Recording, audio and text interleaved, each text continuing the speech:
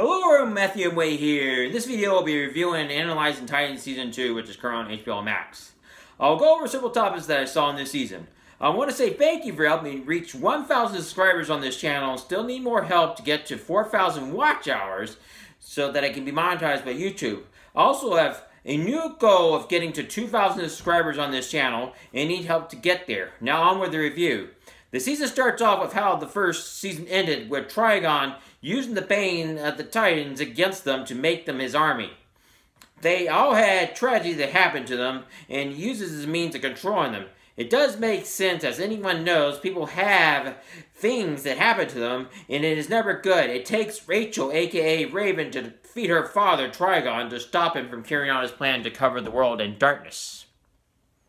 Rose shows up in the second episode of this season, and this starts off with her arc in this season. She will become a major character down the road. Slade Wilson, aka Deathstroke, was teased to the viewer at the end of the first episode of this season. As the viewer knows, Deathstroke is not only a Batman villain, but is a villain in the Titans. This was shown in Teen Titans Go to the Movies, which was released in 2018. Rose claims that she was being chased by her father, but this is shown not to be so. As this was the case, it was a misdirect, by the way. Dick Grayson feels sorry for her and takes her to Titan's Tower. Dick is training the Titans in martial arts and shows them how they must fight. They must be able to fight even when they lose their eyes. This makes sense. What if you lose your senses? You must be able to hang on.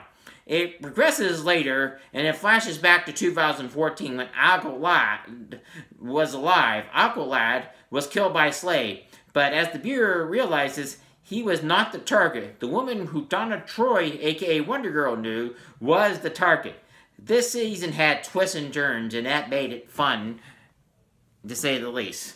The viewer meets Jericho, Deathstroke's son, who can possess people, and he later finds out his father was killing people for money. Deathstroke is a mercenary who works for money, and that is who he is. No matter if the viewer watches the Arrowverse or this series, Deathstroke usually wants to inflict pain and exact his revenge. As the viewer learns as the season progresses, Dick Grayson is carrying this pain. He wanted Deathstroke to kill him instead of Jason Todd, so that Jason did not have to pay for his sins.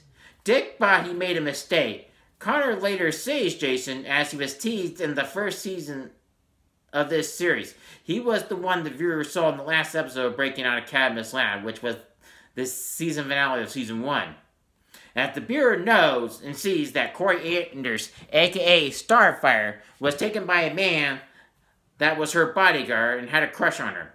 Kory is royalty and must return to her planet to stop Blackfire.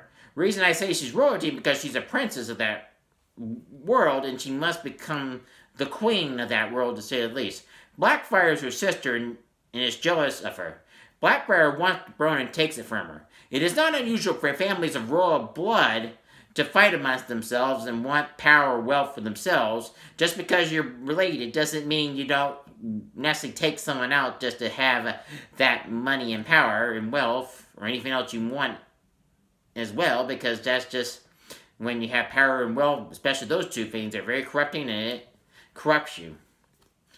Dick goes to prison as he feels after revealing this lie to the group and what Slade tells him that you must pay for your crimes. Dick decides that he must go there to face judgment and make amends for what he has done. Dick finds out that this is not the case and must become who he is meant to be. This will lead him to becoming Nightwing. The group must deal with their sins and issues and must realize that those things do not define them and overcome them. Each character has screwed up and, but must find a way to not let those screw-ups define them.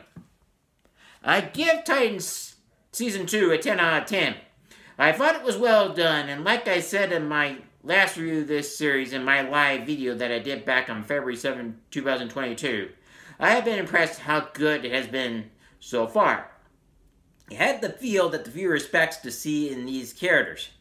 It helps to show how our sins can be forgiven if we let them.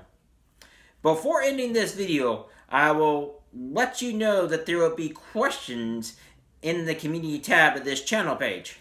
It will ask you what basketball movies or TV shows you like me to review as each person that is watching this video knows, is that the NCAA tournament is coming soon, and it will make sense to ask you these questions. If you enjoyed this video, please like and subscribe my channel. Please hit the notification bell to be notified of any videos that come on the channel at the bottom of this video. Please let me know what books, movies, and TV shows like review next in the comment section below. Please share this video with your friends, family, so my channel can grow. Thank you and have a wonderful day.